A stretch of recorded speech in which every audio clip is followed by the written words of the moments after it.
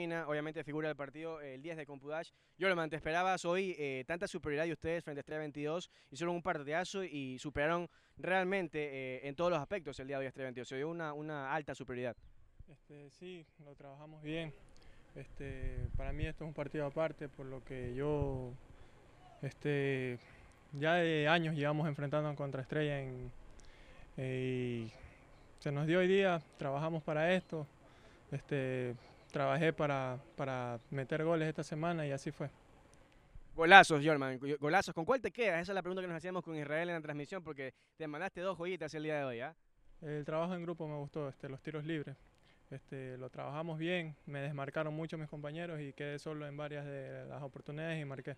¿Cómo tomas eh, el presente del equipo, tomando en cuenta que hace poco nomás en el torneo abierto llegaron a, una final, eh, no la ganaron, pero son un equipo que siempre es protagonista, que siempre está ahí en las instancias importantes y eso habla también del trabajo que ustedes vienen haciendo ya? Sí, eso lo pasamos, lo vimos y volteamos la página para este campeonato a marcar nuestra historia. Bueno, Jorman, te hago entrega aquí de lo que es el cartel de la figura del partido, ahí para que lo, lo, enseñes a la cámara.